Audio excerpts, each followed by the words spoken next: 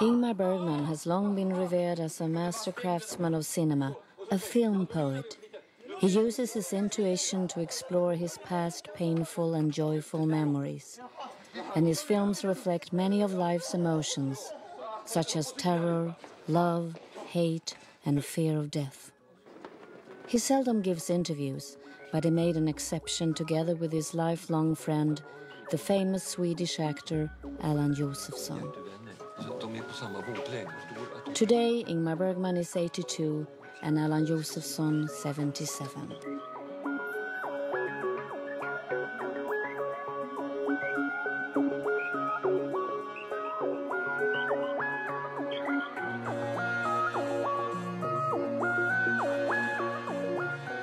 Every Saturday, Ingmar Bergman and Alan Josefsson talk on the phone, and the subjects are always the same life, death, and love. They met in 1939 when Ingmar was 21 and Alan 16. Alan Josefsson still remembers the first time they met when Ingmar entered the room.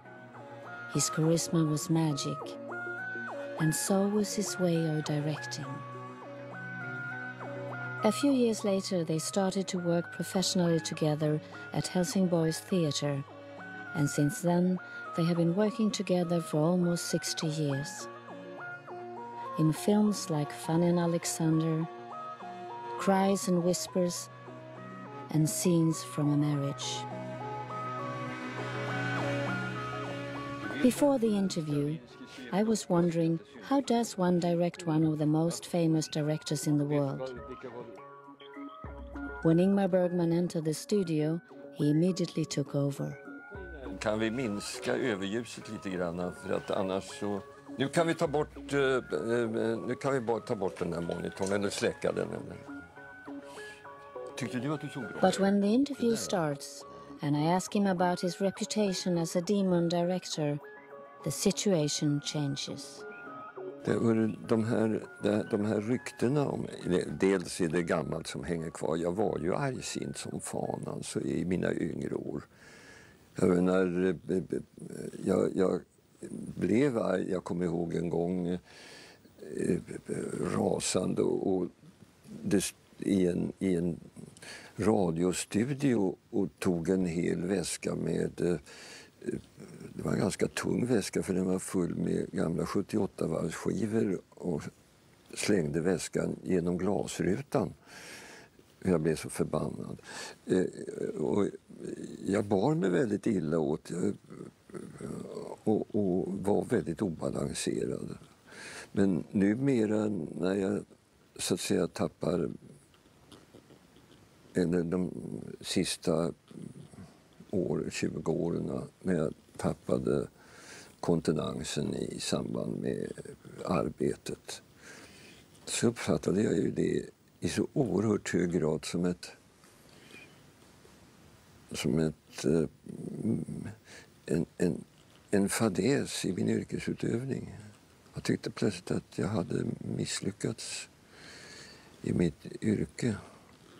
Därför att jag tycker det är viktigt, otroligt viktigt, att i den här mm, fantastiska, märkvärdiga miljön som en filmateljé eller en tv-ateljé är, där det är så många olika sorters människor som ska arbeta tillsammans, så är det väldigt viktigt att eh, där finns en, en mild, jämn, lugn, munter mm.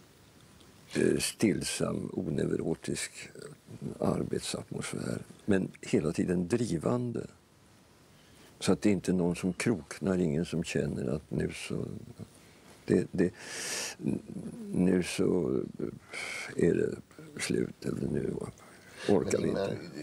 Jag tycker att de här, språket mellan skådespelare och regissörer är väldigt kodat. Det är signaler, väldigt mycket signaler och sådär. Och man kan säga att flera, Ingmar också, och Sjöberg, Alf Sjöberg också, Molander ska inte tala om. Men det kostar på sig ett utbrott med ganska regelbundet mellanrum alltså. Och alla skådespelare tar det här och vet vad det är för någonting. Och, och, jag menar, du hade så kallade pedagogiska utbrott en gång per, per, per, Ja, ja. Per pedagogiska repetitionsperiod. ja, ja, och Alf Sjöberg likadant Ja, alltså. Nu tänkte man nu, nu är det den- den dagen eller nu är det inte den dagen. Det är klart. Det, det, men de som har, eh, talar om det här eller sprider de här eh, legenderna om mig som är knasiga. Men det är oftast människor som inte har haft med mig att göra, som inte har jobbat med mig. Skådespelarna talar ju alltid väldigt, i intervjuer så väldigt väl om Ingmar. Om arbetet och alltihopa det där. Och det retar naturligtvis en massa folk som förväntar sig lite mer. men det är väl att det har skapat rubriker när du eh, för länge sedan eh, klippte till en eh, recensent på Dagens Nyheter och sådana där saker som har blivit stort. Ja, men det var ju alltså då inte, det var, det var ju inte någonting, något temperamentsutbrott ifrån min sida. Det var ju helt och hållet eh, genomtänkt ifrån min sida. Att eh, jag tänkte det, jag, jag såg ju honom, han satt eh, snett framför mig. Så tänkte jag det att, eh, den, för han hade följt med rätt många år då på ett ganska svinaktigt sätt. Och så tänkte jag det att, och det var en generalrepetition, att eh, om jag nu haffar honom i pausen och klipper till honom så slipper jag honom resten av livet. För sen kan naturligtvis inte tidningen för skams skull låta dem recensera längre mina föreställningar. Jag var chef då blev uppringd av Dagens Nyheter och frågade hur jag ställde mig till det där med fysiskt våld på teatern. Ja, det, var ingen, det var ingen av de mer lätt, lätt besvarade frågorna i mitt liv som jag fått. K- Kritikerförbundet hade också ett sammanträde där. Att, så där fick man ju inte göra. Och jag, jag tycker egentligen att... eh, Varför skulle man inte göra det? Om Jag minns att jag sa att verbalt våld är lika läskigt sa jag, som fysiskt våld och ännu värre. Om man är utsatt för det, verbalt våld i en stor dagstidning eh, år efter år så kändes det ganska skönt. Alltså, förresten så klippte jag aldrig till honom.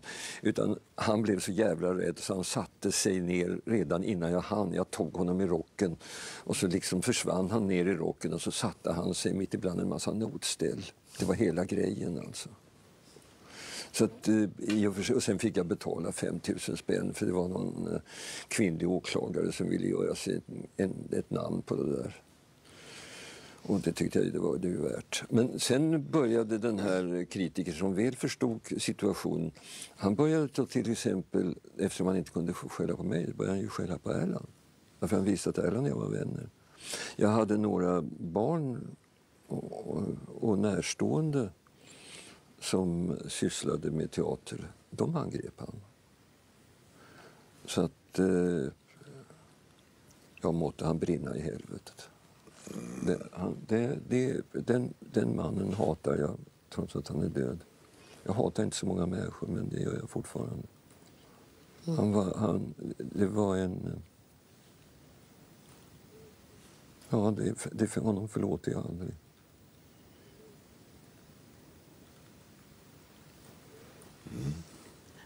För att gå tillbaka till din chefsroll på Dramaten, Erland. Hur var det att vara chef över Ingmar? Ja, det mest, för det mesta var det ju väldigt roligt. Det var, jag hade Ingmar där och jag hade Alf Sjöberg där som var en annan storartad regissör. Och det byggdes ju in i huset en slags dialog mellan Ingmar och Alf med omkring föreställningar, omkring skådespelarna och så här. Sen var det ju väldigt mycket det där att, att de ansåg att Ingmar bestämde allting. Men det gjorde han inte för då hade det inte sett ut som det gjorde. Bättre eller sämre vet jag inte. Men, men jag menar, jag, jag, det, det var ju också under, jag var ju chef 66 till 75 och det var under det, den här nödvändiga demokratiseringsprocessen som teatern gick igenom. Men det var inte så lätt att vara eh, chef i det där tumultet. Ja, och sen gäller det ju att man får... Man kan inte bli omtyckt av alla som Nej, chef. Man måste... Och jag sa- svarade alltid, jag tyckte att Ingmar, de sa att Ingmar och Alf bestämde allt, jag hade för mycket att säga till om. Jag tycker de har för lite att säga till om, sa jag. Det, är ju liksom... och det var mitt sätt att möta det. Du ville att Erland skulle bli din efterträdare för du var Dramatenchef precis. Ja, just det. Mm. Jo, det, det gjorde vi upp. Det kommer jag ihåg. Jag, jag upptäckte ju det att... Eh, eh, jag var ju alltså Dramatenchef i tre år. Och... Eh, Nej, men inte var du tio år. Du var i tre. Tre år, sa jag. Sa du det? Ja, jag sa tre år. Ja, men jag hör illa.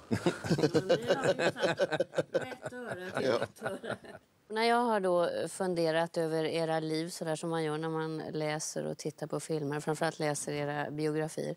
Och jag är kvinna och jag gillar också mitt jobb. Jag har ett jättekul yrke och, då är, och så har jag tre barn. Bara tre. Ni har många fler. Då funderar jag ju på, som kvinna och mor så är det ju en ständig konflikt detta. Och ett ständigt dåligt samvete. Var ska man där man behövs bäst. Då börjar Ingmar skratta. För ni, alltså i, när man läser era beskrivningar så finns ordet pappa knappt med. Jag tror inte det finns med i era... Varför skrattar du? Du får börja. Nej, jag blir Vi har också många, vi har också många barn.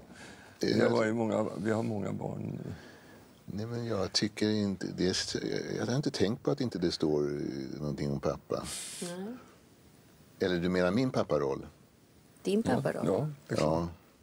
Nej, ni Nej, det- skriver om era pappor väldigt mycket. Ja, Men, ja det gör vi men våra papparoller tror jag vi har av någon Försummat. underlig anledning har våra papparoller inte kommit med i våra självbekännelser. Nej. Nej.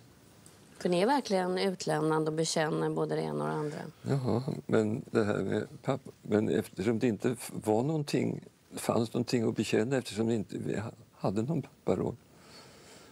Och du kanske hade det, men jag var en... Jag Ja, var jag en hade väl det ändå. Jag, jag, jag vet inte. Det där är väl en öm punkt antar jag. Annars skulle jag väl svara någonting lite förnuftigt. Men eh, det är klart att det var försummade, att jag försummade mina barn. Men sen kan jag försvarat mig med mycket att det är inte så alldeles fel att de inte är så överbeskyddade eller att jag lägger mig i så alldeles för mycket i dem. Jag har väldigt god kontakt med dem, inbillar jag mig. Men det vet jag ju inte. Men jag tror att jag har väldigt bra kontakt med dem. Och, och det har väl delvis berott på deras tolerans men också delvis på att jag ändå har varit intresserad av dem. Du var borta mycket under småbarnsåren, ute och reste. Ja, jag reste mycket. Det kanske de till och med mått bra av, tror jag att du skriver någonstans. Det vet man ju inte. Menar, det vore ju underbart om det var så. Men jag tycker, de, de är väldigt lite aggressiva mot mig nu när de är vuxna i alla fall. Men du hade inte något dåligt samvete som... Det hade jag väl säkert, men inte så förfärligt starkt. Det tycker jag inte jag hade. Jag tyckte jag... Man kan ju... Ja, man vill ju leva sitt liv också. Och det, de är en del av livet, men det, det, finns ju andra delar som också vill. Och det, drar jag inte in det också med, med dem och de plötsligt skulle känna att jag levde ett liv bara för dem eller för, eller för mycket för dem så skulle de bli väldigt belastade. Det kan man ju säga att det skulle vara tungt för dem. På den punkten har det varit väldigt lätt för dem. Ja, men sen kan man väl säga en sak också, eh, Erland, och det är det att vi har faktiskt... Mammorna har varit storartade damer. Verkligen. Verkligen. Och Ja, det kan man verkligen säga. de har aldrig pratat skit om oss.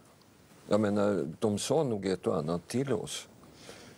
Eh, Men eh, de har aldrig injicerat något gift ifrån den bitterhet eller den sorg och besvikelse som de kan ha upplevat. Nej, Det är ingen, i. eh, så vitt jag vet, har dessa damer det gemensamt. Kan man inte säga så? Jo, det kan man verkligen säga. Ja, men nu måste jag fråga. Först började du skratta när jag ställde frågan. Var, var, varför då? Nej, därför att eh, jag vet, eh, jag hade ett rabalder med en av mina söner och, så- och så sa jag det att eh, jag vet att jag har varit en väldigt dålig pappa. Och så röt han åt mig. Vad då dålig pappa? Du har inte varit någon pappa alls.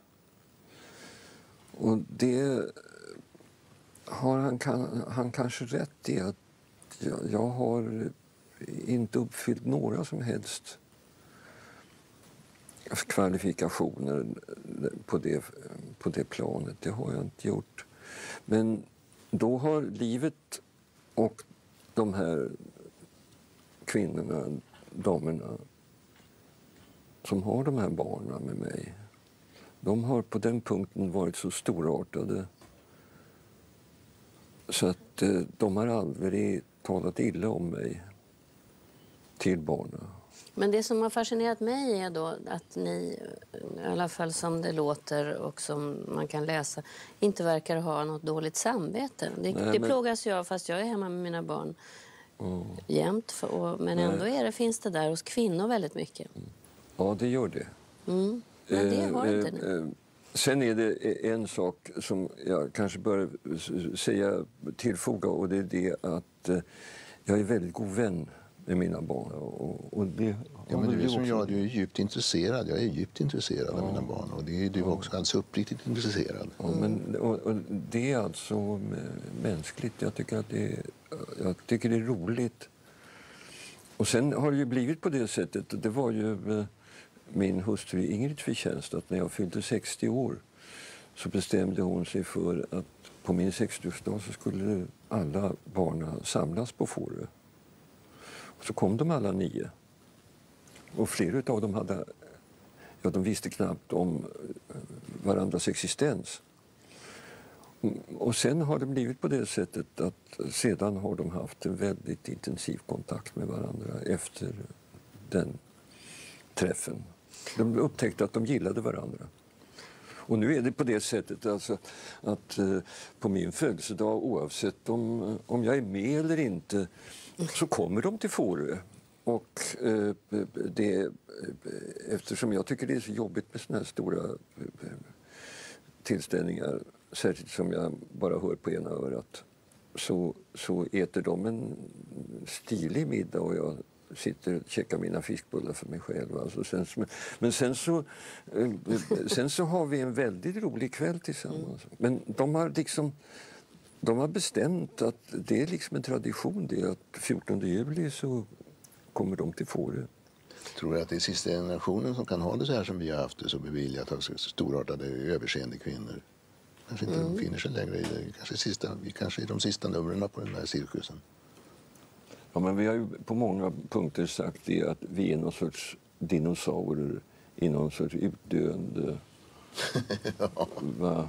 I, Ja. någon, I någon sorts utdöende djurart. Har vi inte sagt Men man kan det? ju också säga, ni, ni beskrev ju hur det såg ut, alltså man repeterade, man höll på Mm. till sent fram på kvällen. Det var ju omöjligt att kombinera med ett småbarnsliv till exempel. Och då undrar jag, varför blev det ändå så många barn? Man kan ju tänka sig att man inser sin begränsning, det går inte att kombinera. Nio men även, även en ganska lågt betald skådespelare hade, kunde ha hemhjälp på den tiden. Det var en viss skillnad på det. Det fanns aldrig. Det fanns, eh, så, och det var nödvändigt därför att de här skådespelerskorna och, och våra fruar så de stod ju upp efter 14 dagar efter förlossningen och var med på scenen igen. Men det måste ju ha funnits någon eh, lust att skaffa så många barn ändå. Ja, det, det var liksom som någonting. Jag, jag, jag skulle vilja säga det att några planerade barn har jag inte. De bara blev. Det, det blev barn. Och eh, de barnen, det är faktiskt kärleksbarn i högsta grad. Jag är oerhört fäst vid dem. Och, eh, och så är det så roligt med alla de här barnbarnen. Jag menar, både de, jag har ju vuxna barnbarn och jag har små barnbarn. Jag har till och med barnbarnsbarn. Och jag är förtrollad av de här små barnbarnen som nu kommer trillande undan för undan. Och, eh, men, och jag vill gärna vara tillsammans med dem men jag, jag kan ju bara vara tillsammans med dem en timme i taget. Sen får jag ju ta en Valium och gå och lägga mig. Alltså, för att det, det är ju jobbigt. Men, men roligt. Det är hemskt roligt. Men du talade om det här med dåligt samvete och att kvinnor har dåligt samvete. Och typiskt att jag liksom försökte tränga bort det.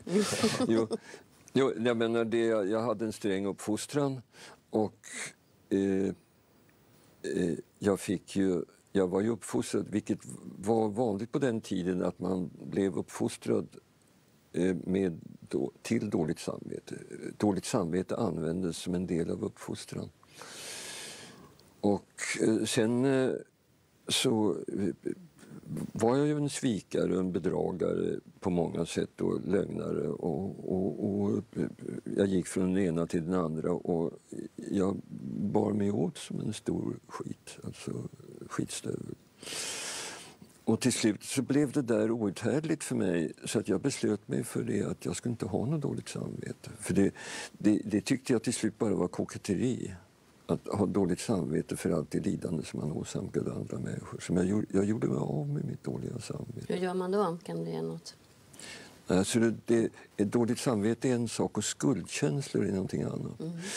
Så att min skuldkänsla kunde jag aldrig likvidera.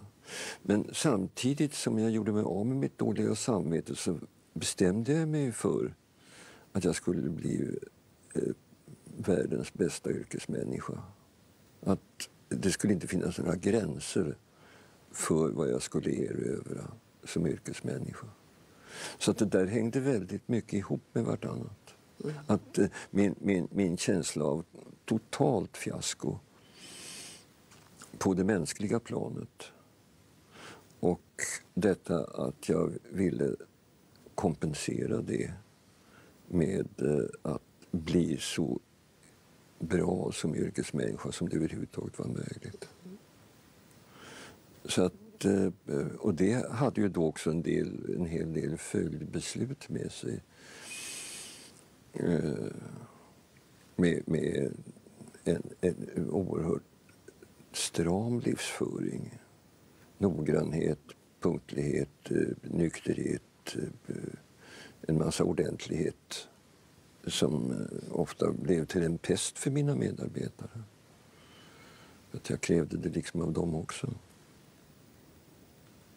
Ni, om man, eh, vi har talat om livet, för livet är trots allt väldigt mycket för er. Konsten, teatern, filmen. Eh, men kärleken har varit, och kvinnorna har varit en röd tråd i era liv också. Många kvinnor. Mm. Och är det fortfarande kanske? Erland ska bli sambo. Ja, det, det betyder mycket. Mm. Har alltid betytt mycket. Och det är klart att det har funnits konflikter och storm, storm, storm, stormar och förtvivlan och glädje och hela, hela rör, rörelsen i kropp och själ som det är där med kärlek. Mm. Nu kommer det där med kärleken. Var det inte så du sa, Ingmar? Är du van vid att detta dras upp alltid, om kvinnor och kärleken? Men det är en rätt mm. väsentlig del av era liv. Ja, men jag har nog motstånd mot att få ut det. Jag, menar, jag tycker det är väldigt det är svårt när det blir offentligt. Mm. Det är, är, ofta beroende på att jag tycker jag har för många svek bakom mig och, och till, det, till kortakommanden i de här historierna. Eller historierna är väldigt fel ord, men de här händelserna. Men det måste ju ha funnits eh, härliga, lustfyllda saker att berätta ja, också. Oh ja. oh ja, jag har haft det väldigt... Jag har varit väldigt kär, jag är väldigt kär, jag är eh, ständigt... Sen är det ju ett, det är ett frestande yrke det där också. Därför man, man, man blir ju väldigt fort väldigt intim med människor mm. man spelar med. Och det där med att vi blir kär på arbetsplatsen tycker jag är det naturligaste som finns i världen. Det anses ju vara så konstigt men det, jag tycker det, det, det är väl helt rimligt att det uppstår kärleksförhållanden på arbetsplatser. Du bara ler, Ingmar, hela tiden. Jag tänker. Jag, har alltid förundrat mig över att flickorna har ju alltid varit efter. Vi har ju känt varandra så många år. Flickorna har alltid varit efter Erland. Han har inte gjort så mycket för det egentligen. Jag har alltid fått jobba och när jag har blivit kär i en flicka så har jag alltid fått jobba och slita och stå i alltså. Men, men eh, Erland, Erland, Erland och Sven Nykvist, de, de har liksom inte gjort någonting alls utan flickorna har bara blivit vansinnigt kära i dem och jag har aldrig begripit Varför? Vad, vad det kom, jag har aldrig begripit jag har aldrig begripit hur, hur de gör, alltså, hur de gjorde. Jag har alltid fått stå i som sjutton. Alltså. Jag har varit en sorts kärlekens ardennerhäst hela livet. Det där är stort, tycker jag inte som du. Nej, men du kan inte bedöma det där. Så. Nej, det kan jag nog inte. Nej, du kan inte det. det du, du vet inte hur det där fungerar. Med mig har det nog varit, om, om, om du ska ha en kort beskrivning av mig. Med Bergman och kärleken så är det väl det att Jag har alltid varit djupt förälskad så länge jag kan minnas tillbaka. Det började faktiskt med min mamma.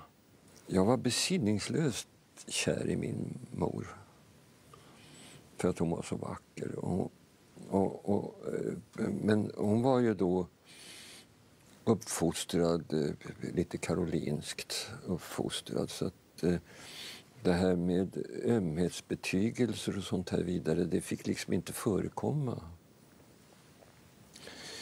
Uh, därför man var pojke. Och, och, men om man var sjuk... Mor var utbildad sjuksköterska och när man var sjuk då så släppte hon fram hela sin eh, oerhörda ömhet. Tacka fan för att man blev sjuk ofta. Fast sen var det ju det att eftersom hon var sjuksköterska så, eh, Så blev du genomskådad, blev man ju genomskådad. Alltså. Men, eh, men, och sen, sen, sen har det egentligen fortsatt. Hela... Fast det har ju aldrig... Om man tittar på kvinnorna i ditt liv så är det tre år. Och så hittar du en Nej, ny. Fem.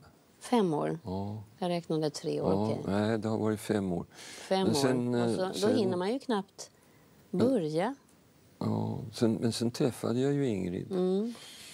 Och det, sen, det blev ju 24 år. Mm. Sen dog ju Ingrid. Men annars hade det väl fortsatt. Men eh, i och med att eh, Ingrid bestämde sig för att hon ville gifta sig med mig så, så avstannade all annan trafik. Var det den stora kärleken du hittade eller hade du mognat? Det var Ja. den stora kärleken? Ja, ja. Nej, det var nog så att eh, den mo- med, jag, jag, vi gifte oss, jag var 52 år och eh, jag höll väl på att gå, komma ur puberteten då, någorlunda. Men sen så, det här äktenskapet som jag levde i sedan som var oerhört eh, nära. Det lustiga var att eh, Ingrid till det yttre var så väldigt lik min mor. Det kan ha kanske haft någon sorts betydelse någonstans. Men eh, det var ett så djupt samförstånd. Eh, så att eh, där fanns allting samlat. Men, eh, men eh, det roliga är, och, men det visar ju å andra sidan också att det var storartade flickor de här. Jag menar, jag är ju vän med alla de här flickorna. Och det har jag lite svårt att förstå. För när man läser hur du behandlade en del av dem Ja, så är det för, lite för svårt att förstå att det fanns ett sånt försonande drag hos jag vet dem inte. allihopa. Ja, Ja, men jag tänker på din första hustru som fick det- TBC. ja, just det. Och när hon är på behandling så träffar du en ny kvinna. Ja, Och bara att bli övergiven under de omständigheterna Ja. på det sätt som du gjorde. Och ändå så har du en det vänskap. det var Helsingborg det. Det är rätt eh, otroligt att de är så storsinta tycker jag. Det kunde lika gärna vara så att det fanns väldigt mycket hat och bitterhet. Det var väl... Det Eh, bort på något sätt, den, den, den bitterheten. Den har skapat bitterhet omkring mig också, men det har också verkt bort på något sätt. Och man går ju också på ett sätt igenom det tillsammans. går inte att undvika det. Jag är väldigt vän med mina före detta fruar också. Det är två kvinnokarlar får man intryck av när man läser och, och, om er och av era egna eh, försöker böcker. att inte se smickrad ut. Nej, Mm. nej. Va? Och då tänker jag så här, men ni har beskrivit er själva som så fruktansvärt fula när ni växte upp. Du beskrev dig själv i boken Färgen. Ja, det är möjligt att det var där. Att du eh, hade var för tjock. stort huvud och Stort huvud, rödhårig. tjock, rödhårig, ut, ut, utomordentligt fräknig. På den tiden var det inte fint att vara rödhårig. Det var, blev man mobbad för. Och jag, jag blir förvånad när jag ser bilder av mig själv att jag blivit, upplevde mig själv som förskräckligt ful. För det, kan, det ses inte på bild, men jag gjorde det. Jag kände mig väldigt ful. Och den känslan, eh, hade den att göra med skådespeleriet? Att då bli, bli någonting, att bli... Spela ja. älskare och roller, då kunde man kliva ja, jag, in i något annat. Jag spelade älskarroller i Göteborg väldigt mycket. Och det tyckte jag var väldigt roligt att göra. Det var, det var en slags kamp som jag vann i. Det där att inte, inte vara så oerhört generad över mitt väsen och min kropp och allt det där. Och det var, det var väldigt roliga år på det sättet. Men jag menar, det finns ju samma... han ser så förtjust ut, Bergman, ja. här, för att han tycker att jag... Vadå? Vadå? Jag, jag är bara förtjust i att bli entusiastisk av det. ja. ja. Nej, det tilltalade också min blandning av skygghet och exhibitionism, det där att vara på scenen. Det är väldigt bra. Jag vill inte synas eller någonting, jag vill inte höras, jag vill inte någonting. Men jag säger som Isak Grünewald sa, det är en dag utan att jag står i tidningen är en förlorad dag. Man, man är verkligen tve, tve, eller tvehövdad där. Och för att knyta ihop det då så är det för att det, är klart att jag var oerhört lätt lätt ledd därför att jag var så förtjust i att bli iakttagen och så förtjust i att bli att folk ty tyckte om mig. Framförallt att, att, kvinnor tyckte, ja jag tyckte det att ta i men det var många som blev det. Mm. Och jag blev väldigt kär i många också. Men du beskriver dig själv också som ful. Finnig ja, jag, jag var verkligen, jag, jag såg bedrövlig ut alltså. Jag var, jag var lång, kutryggig, fruktansvärt mager. Som en negativ repa så mager. Och dessutom så var jag ohyggligt finnig. Och eh, vantrivdes med, med min kropp och med alla dessa hormoner, hormonstormar som jag utsattes för. Och dessutom så tyckte flickorna att jag att jag såg oerhört komisk ut. Så att eh, jag, jag, hade det, jag hade det jobbigt med tjejer. Det, det är ingen tvekan om den saken. Eh, när jag gick i plugget så var det jobbigt med, med, med flickor. Eh, eh, det var en, en, en, en, flicka som förbarmade sig över mig.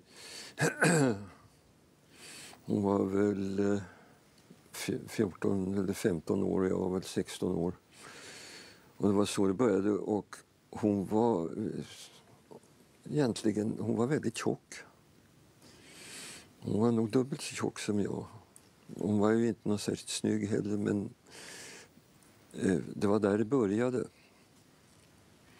Och, och, hon var jätterar och dessutom så eh, läste vi läxor tillsammans och sånt där. Och det min mor som vakade över sina barns dygd, hon tyckte att den här flickan var så ful så hon kunde omöjligen vara någon fara för lilla Ingmars dygd. Men det var just precis vad hon var det.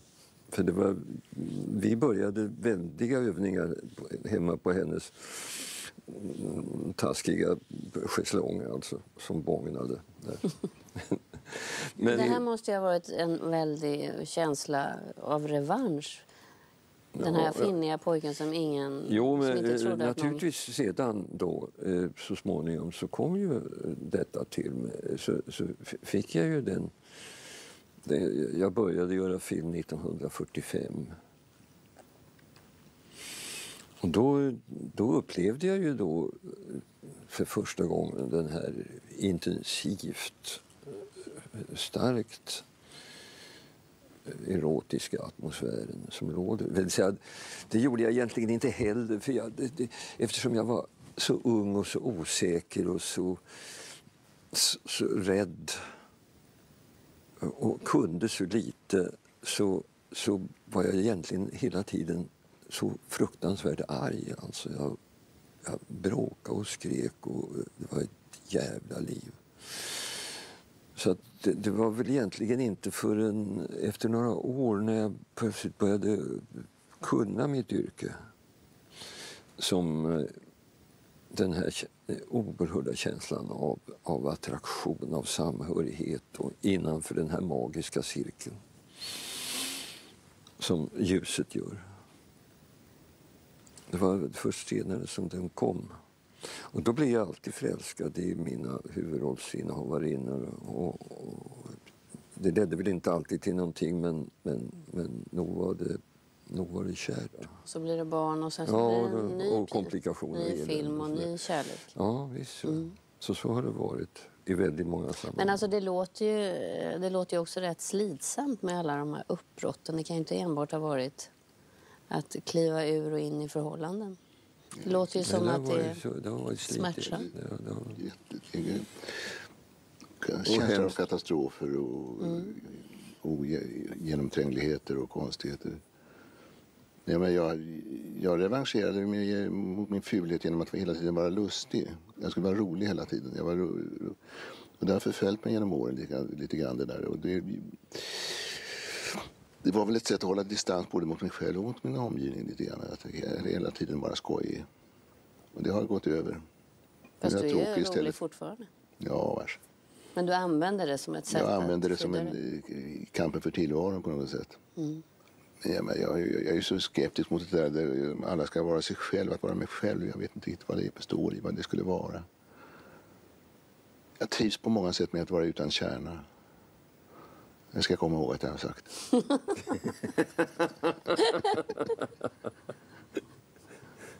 Så du inte plötsligt säger jag trivs väldigt bra med att ha en kärna. Det är precis så det brukar göra. Ja. Till skillnad ifrån Erland som säger att han eh, trivs med att inte ha någon kärna eller vad det var du sa för någonting. Så eh, har jag det väl inte riktigt eh, på det sättet. Utan eh, jag upplever nog snarast det att jag har ett sjuhelvetes kaos som jag måste hålla reda på. Och om jag inte håller reda på det så omkommer jag i, i mitt kaos. Jag skulle kunna omkomma i detta kaos. Är det därför du gillar med det här med kontroll? Och det, jag är då gentemot omvärlden och gentemot mig själv. Jag är oerhört planerad och kontrollerad och avskyr varje form av improvisation. Och numera så,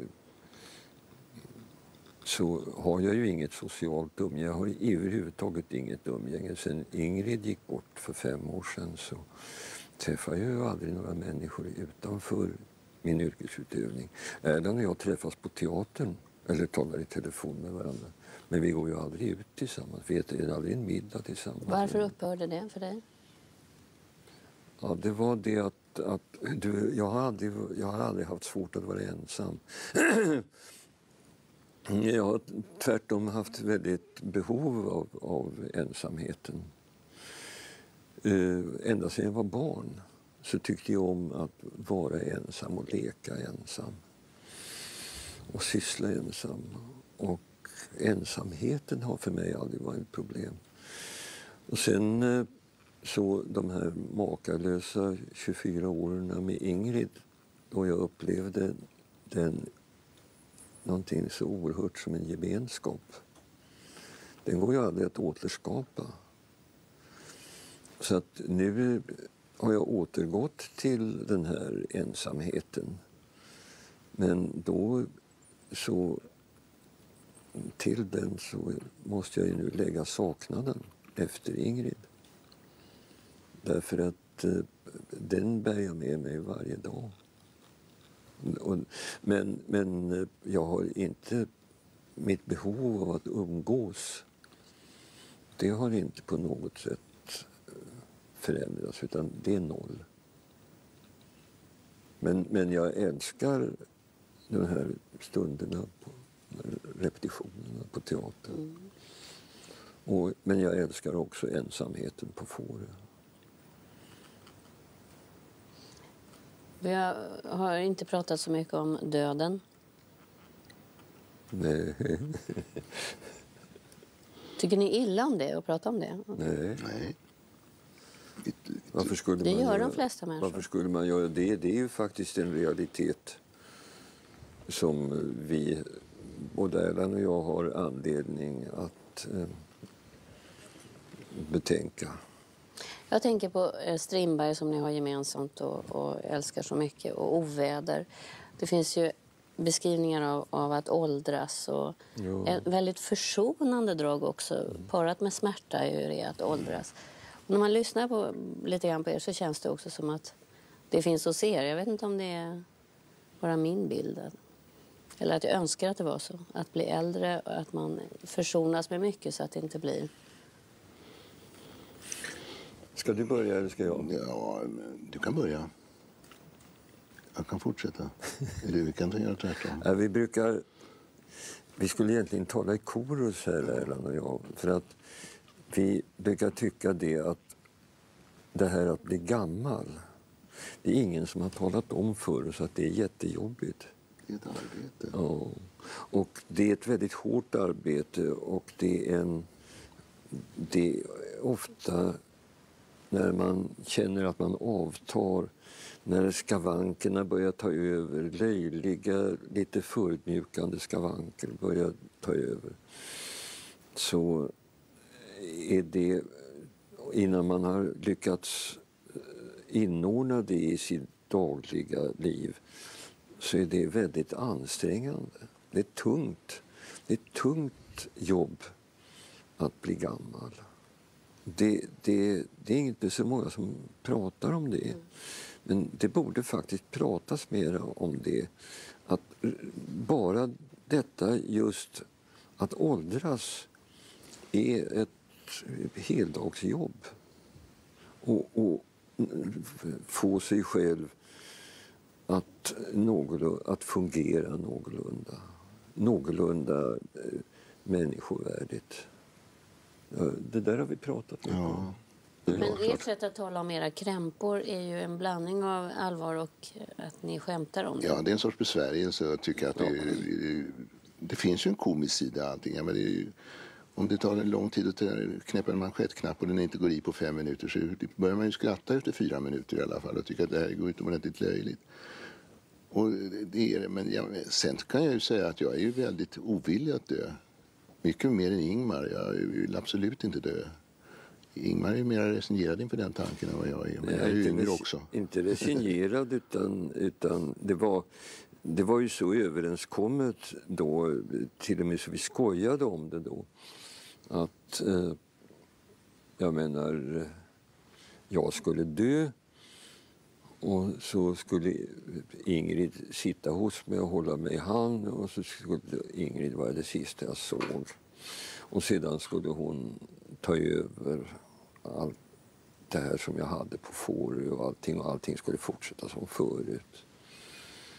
Och sedan inträffar detta som är väl det grymmaste som har drabbat mig under mitt liv så, och invalidiserat mig. Detta att Ingrid dör plötsligt. Inte plötsligt utan under i alla fall ett års tid. Och då, eh, det att eh, nu leva vidare är för mig eh, så oerhört likgiltigt. Jag försöker alltså att Eh, jag, jag, jag försöker alltså att, att, att fylla mina luckor i min allmänbildning.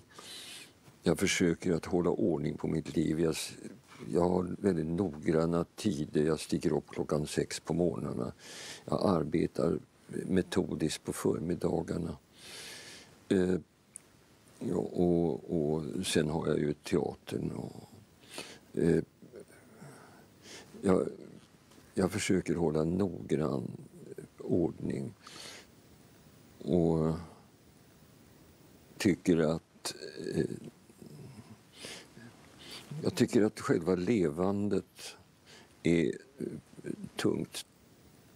Att jag aldrig ska få träffa Ingrid igen känns för mig eh, förfärande. Alltså. Det, är en, det är en ohygglig tanke. Och då...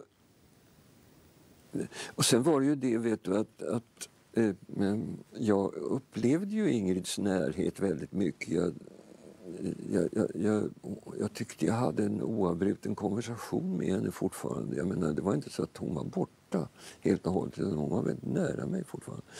Men så kom då den här naturligtvis eh, föreställningen om döden som ett vara och ett icke vara, den kom i, i häftig kollision med den här föreställningen. Men då får jag ju aldrig se Ingrid mera. Och då, eh, då hade Erland och jag ett i och för sig bra samtal om det där som för mig betydde väldigt mycket därför att eh, eh Erland sa, ja vad tror du egentligen nu då? Och då så sa jag det att Ja, så jag är ju väldigt tveksam nu. Men jag tror ju att jag ska få möta Ingrid igen. För jag tror ju att det finns andra verkligheter, det har jag alltid trott. Jag tror ju att jag ska få möta Ingrid igen. Och då säger Erland så oerhört klokt. Då säger han, ja men bejaka den föreställningen då. Och sen har jag gjort det. Det här med att han död är inte någonting som jag oroar mig för. Utan tvärtom, jag tycker att det ska bli intressant. Fast där är ni inte lika. Nej, jag tycker det är förskräckligt. Jag vill inte. Men jag menar, det så småningom så kommer ju kroppen att besegra mig. Det förstår jag ju. När den inte vill längre alls.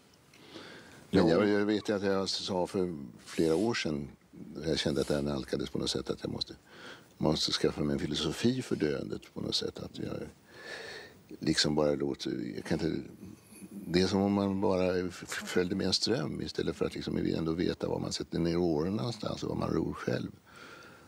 Och jag vill ju helst ro själv. Och inte bara överflygas av det. Men ja, jag har väl blivit lite mindre rädd de sista åren. Men har du hittat den här filosofin? Du har ju Nej. faktiskt hjälpt eh, Ingmar. Ja, vi har talat om det också. Men eh, ja, jag, kanske, jag vet inte. Det, det, någonting har förändrats i mig i alla fall. Jag tycker det, det, det, det enda som eh, vi, eller som jag tycker vore förfärande, det vore att eh, plötsligt bli en grönsak. Mm. Eller eh, ligga andra människor till last. Att eh, bli en, eh,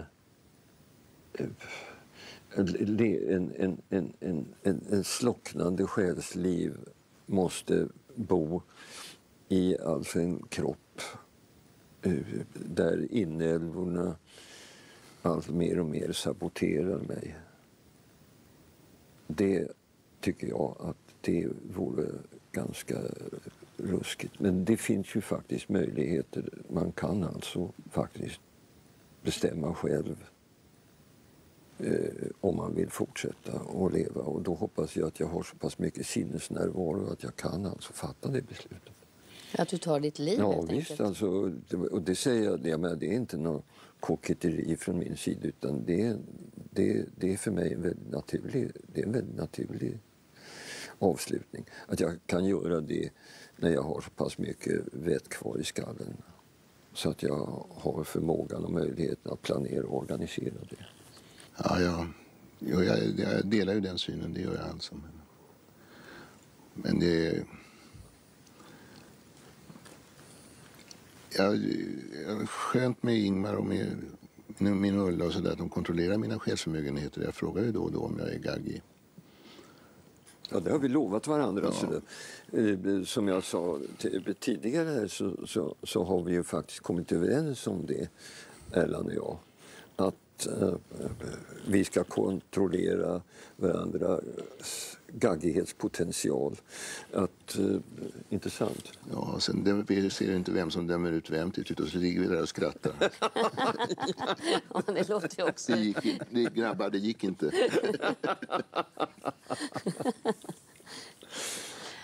Men finns nyfikenheten och glädjen och lusten att uppleva nya saker, finns det kvar? Ja, men vi har, kan väl vara ledsna, men vi har inte förlorat vår munterhet. Vare sig Ingmar eller jag. Tycker jag inte. Vi skrattar mycket. Ja, men eh, det är ju faktiskt nödvändigt. Det är ju den enda Det är det enda man kan göra däremellan. så är det att, så länge man har tänderna kvar. ja, ja, jag tror även när de har ramlat ur så tror jag Skrattar vi ändå? Ja, så får vi skratta ändå. Ja, får skrattar vi åt det då. Nu ramlar tänderna ur. Nej, men... Eh, eh så du, jag, jag har alltid hela mitt liv, ända sedan jag var väldigt liten varit besinningslöst nyfiken. Och min nyfikenhet på eh, alla tänkbara olika eh, nivåer av alla möjliga, för det finns ju olika slags nyfikenhet. Men min nyfikenhet är faktiskt eh, eh obegränsad. Det finns ju en erkänd sjukdom som heter nyfikenhetsförlust, alltså, som man talar om. Det är, då tappar man livskraften lite grann. Men du förstår då vilka samtal vi har två oerhört nyfikna människor som talar med varandra i telefon. Det finns mycket att tala om då. Det är alltså en fantastisk gåva, tycker jag. Att, eh, och det har vi upptäckt så småningom. Det är någonting som livet har bestått oss. Så är det det här att vi får ha den här kontakten med varandra, den här vänskapen. Den, den här innerliga vänskapen. After four hours, I know that the reputation of the demon director is not deserved. I have met two fascinating men who created a magical atmosphere in the studio. What happened? Two old men who don't walk very well, who don't hear very well, and don't see very well. But in their magic circle, love became brilliant, death present, and life itself full of joy and yet at the same time painful. Perhaps their secret is their childish curiosity and lust for life, and their knowledge that if they stop working, life is over. When they leave, I'm a little bit in love.